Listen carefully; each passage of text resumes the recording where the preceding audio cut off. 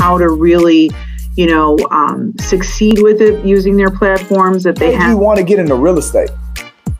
Well, so I guess with COVID and the big reset, uh, you know, everybody quitting their jobs, I was so stressed uh, uh, with my engineering job. And I got spoiled working at home for, you know, two years or one and a half years. And then they wanted us to go back to the office.